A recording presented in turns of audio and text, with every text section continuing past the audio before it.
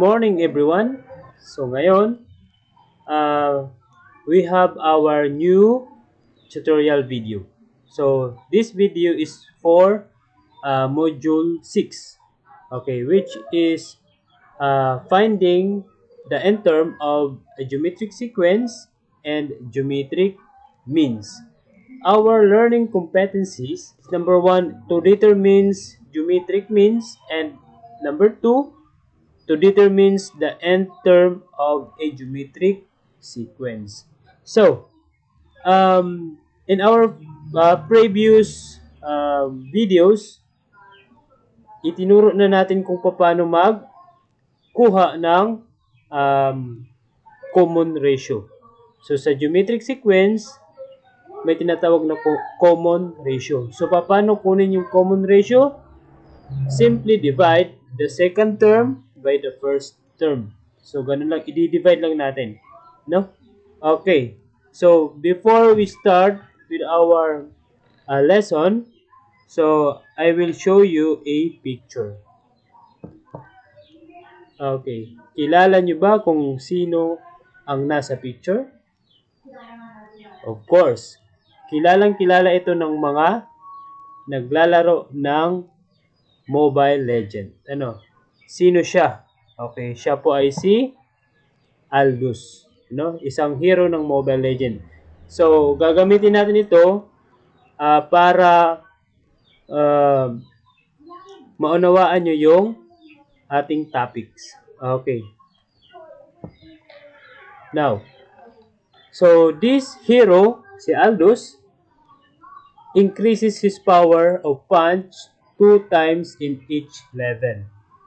He dealt 20 points damage every punch from his first level. How many points of damage every punch will be dealt to the enemy when he reach the fifth level? So, uh, kumbaga, yung hero dito is, uh, yung suntok niya ay uh, dumodoble. Ano? Pagkalipas ng uh, isang level. So, pagka next level, dudubli siya. So, ganun yung uh, power ni Aldous. So, yung tanong, gaano kalakas yung kanyang uh, punch or power punch hanggang mag fifth level siya. So, ganun lang yung tanong. Okay, yung tanong na yan, i-convert natin doon sa mathematical sentence. So, sa mathematical sentence, yung tanong na yan ay parang ganito lang. Find the fifth term of the geometric sequence whose common ratio is 2 and first term is 20. So, ganun lang po. So, ngayon, i-disregard na natin yung uh, sa kay uh, Aldous. Okay, dito na tayo sa mathematical sentence. Okay, yung our lesson 1 is finding the end term of geometric sequence. So, ito, yung, ito na yung tanong natin or mathematical sentence. Find the fifth term of geometric sequence whose common ratio is 2 and the first term is 20. So, of course, para malaman natin kung uh, pang ilan yung fifth term, so kailangan nating gamitin yung formula. Or ito ay tinatawag na general rule or end term. Okay, yung general rule natin ay a sub n is equal to a sub 1 times or quantity r then to the power of n minus 1. Okay. Kung saan ang ating a sub 1 is yan ay yung first term natin. Yung r ay ang common ratio. Then yung n yung ating level ano or yung term natin, end term. Okay. So, meron tayong mga uh, steps kung paano kunin yung uh, end term. Okay. First, find the value of a sub 1, r, and n. a sub 1 natin is the first term. Meron tayong first term dyan. So, our first term is 20. Then, yung common common ratio that is 2. Then yung n natin that is 5. Okay, so ito na po 'yon. No? Meron na tayong value. Ang mga values ng mga yan. So, next, second, substitute the value of a sub 1, r, and n to the general rule. So, ito yung general rule natin. I-substitute lang natin yung mga values dyan. Okay. So, we have Okay, a sub 5. Okay, yung n natin is 5 kaya uh, sinubstitute natin yung yung 5 ito dito sa n. Then yung a sub 1 or the first term that is 20 so naging 20. Then r or common ratio yung 2 then naging 2. Then yung n natin is 5 that's why ito ay naging 5 minus 1. Okay, next. Okay. Simplify na natin a sub 5 is equal to 20 times 2 to the power of 4 or to the fourth power. So, okay, ano yung gagawin na dito? So, kailangan lang natin i-multiply. Yung base natin is 2. So, yung 2, i-multiply natin ng apat na beses. So, 2 times 2 times 2 times 2 is equal to 16. Okay, the next, we have a sub 5 is equal to 16. Ito na yung result natin. 16 na siya. Okay, then next, uh, 20 times 16. Okay, 20 times 16 is equal to 320. So, our fifth term or a sub 5 is equal to 320. So, doon pala sa power ni Aldos, kung nasa 5th level siya, yung punch power niya ay aabot ng 320 per punch. Ano? Kada suntok ay 320 ang damage niya. So, ganun kalakas si Aldos. So, by the way, uh, pabayaan natin yung ML. Dito tayo sa mathematics. Okay, another example. Find the sixth term of the geometric sequence which is negative 2, negative 6, negative 18, and negative 54. So, meron siyang ellipsis meaning to say it is an infinite sequence. So, what is our first step? Okay. Our first step is to find the value of a sub 1 R, and N. So, yung A sub 1 natin is the first term. We have negative 2. Yung R. Okay, yung R natin, to find the R or co common ratio, we divide the um, negative 6 divided by negative 2. And then the result is positive 3. Then yung N natin is 6. Okay? Then, next, Okay. So, ayan na yung mga values. Then next, or second, substitute the value of a sub 1, r, and n to the general rule. Okay. Andito na yung general rule natin or the formula.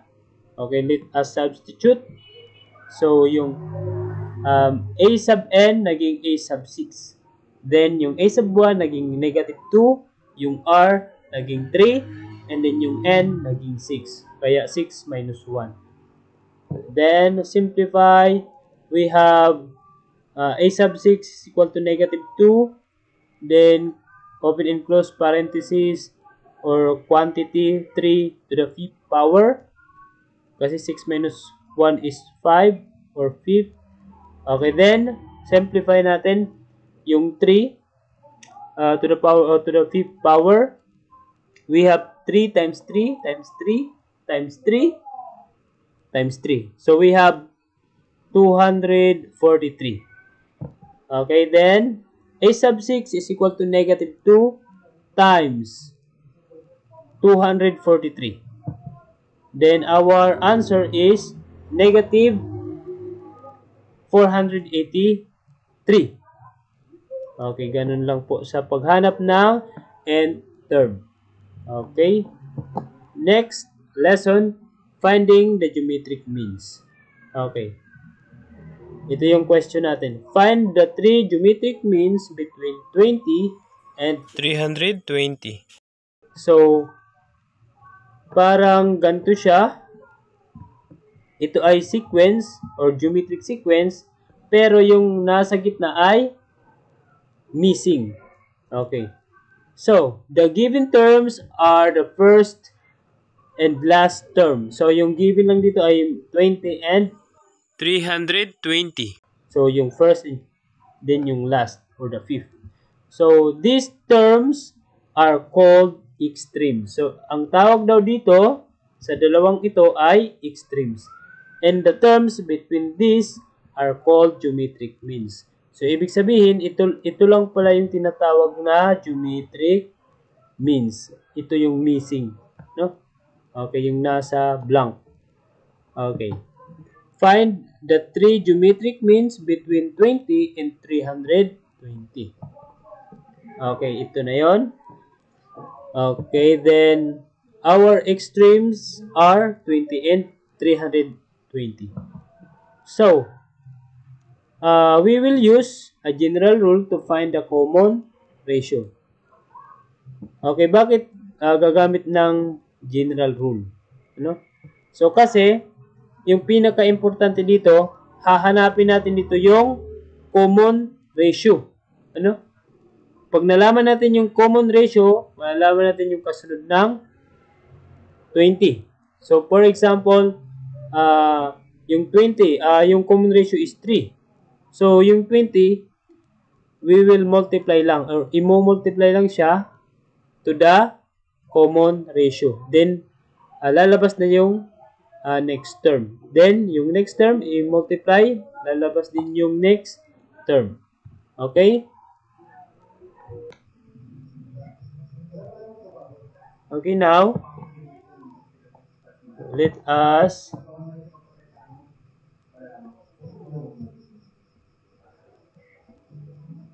Okay. Find the three geometric means between 20 and 320.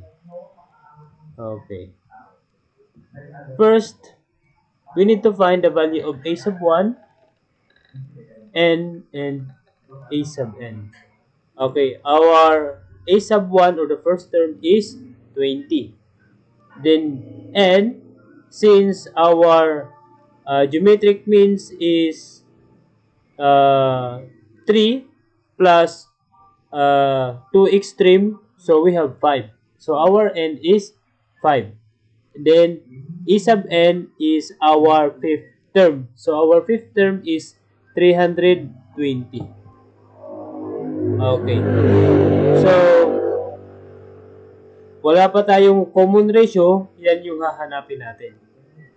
Okay, then next, Second, substitute the value of a sub 1 and, and a sub n to the general rule.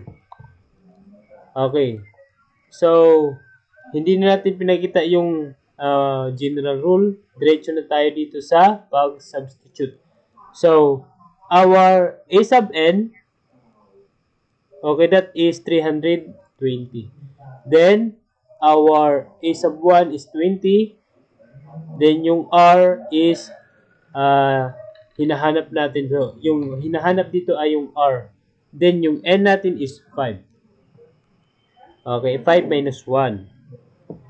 So, we have 320 is equal to 20 times R to the 4th power. Okay, the next.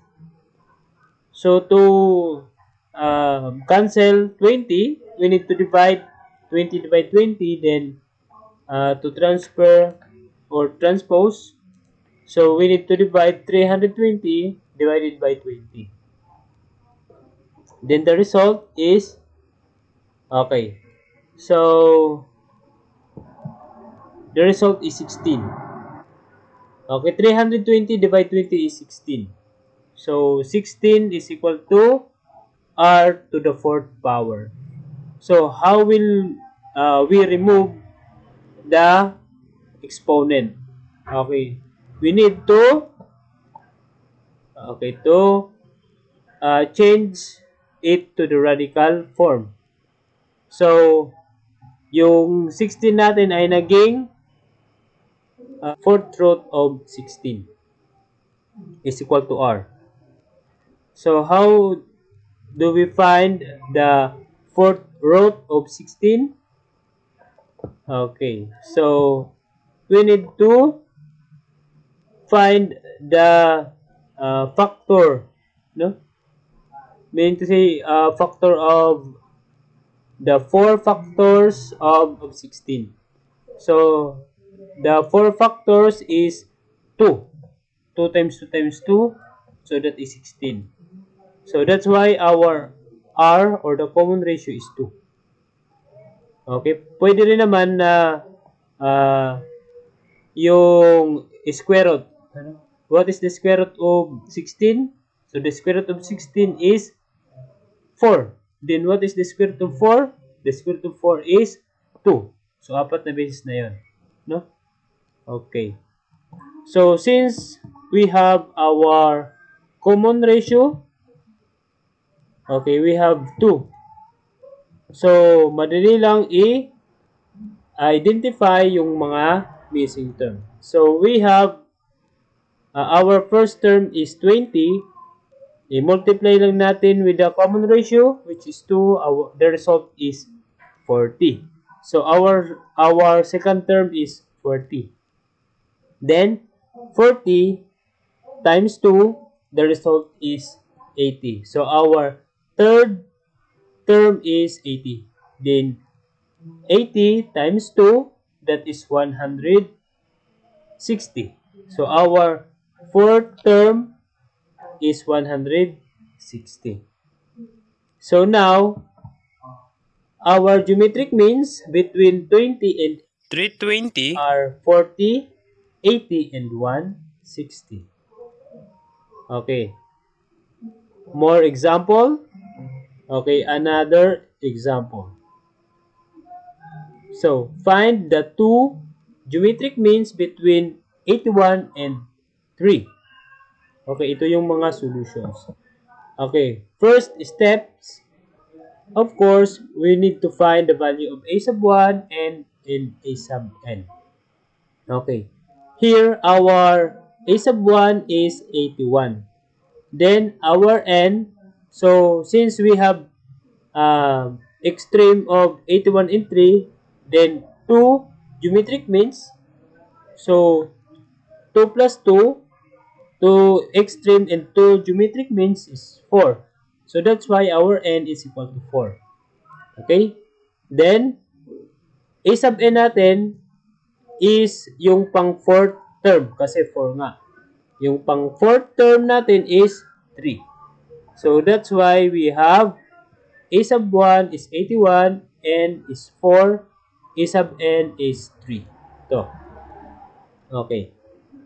So next step or second steps, second step, substitute the value of a sub 1 and, and a sub n to the general rule. So diretso na natin, substitute. So we have our a sub n is equal to 3. Sinubstitute na natin. Our a sub 1 is 81. Then our r is uh, missing. Yan yung hahanapin natin. Then yung n natin is 4. Kaya 4 minus 1. Okay, next. 3 is equal to 81. Okay. Times r to the third power. Then next, to cancel 81, 81 divide 81, then 3 over 81. Okay, pwede ba natin ma-divide yung 3 over 81? So, hindi siya. So, anong gagawin? Kailangan lang natin i- uh, reduce to lowest term.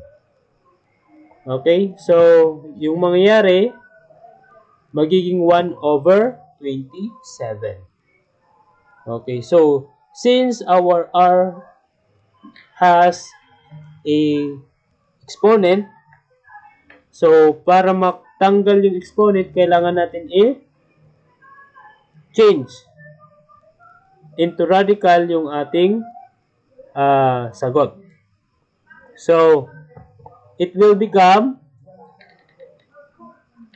it will become a cube root of 1 over 27. Okay, now, how to find the cube root of 1 over 27? So, simply um, find the three factors that is uh, result of our uh, 1 over 27. So we have uh, 1 over 3 times 1 over 3 times 1 over 3 is equal to 1 over 27.